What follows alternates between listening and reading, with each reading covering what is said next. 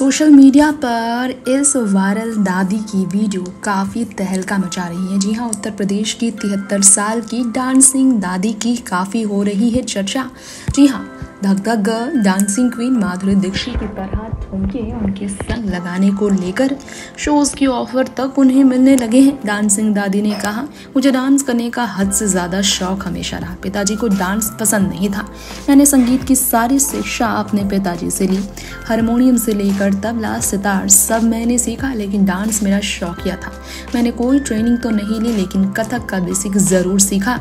इस डांसिंग दादी ने इस तरह से किसी के बीच काफ़ी ज़्यादा चर्चा बटोरी है। जी हाँ सोशल मीडिया आज के तौर पर ऐसा दौर है जो कि हर किसी को फर्श से अर्श तक और अर्श से फर्श तक भी पहुँचा देता है। रातों रात ये दादी माँ वायरल दादी बन चुकी है। मुंबई में अपने बेटे के साथ रह रही रवि बालाजी नाम है इस डांसिंग दादी का, जिन्होंने उत्तर प्रदेश के मुरादाबाद में जन्म लेने के बाद संगीत में अपनी दुनिया बनाई, लेकिन डांस का शौक बुढ़ापे में कर रही है वो पूरा। मुरादाबाद की रहने वाली तिहत्तर वर्षीय ये दादी माँ डांस के प्रति लगाव के ज़रिए आज आ गई है चर्चा में।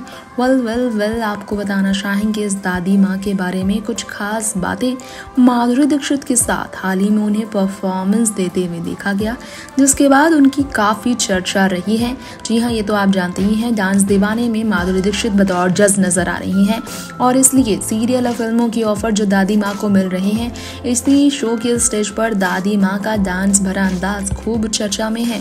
परफॉर्म करने के लिए उन्हें बुलाया गया, बतौर गेस्ट डांसर बुलाया गया और इसके बाद उनका डांस सबसे ज़्यादा सुर्खियों gerekiyor Mira'ya. Ja. Neşner yazımsı tırıp digri bu.